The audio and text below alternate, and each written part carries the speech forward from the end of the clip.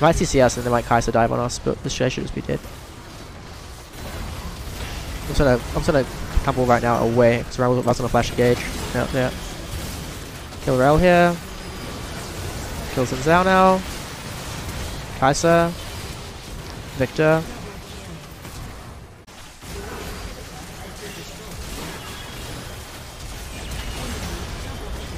They have GA though.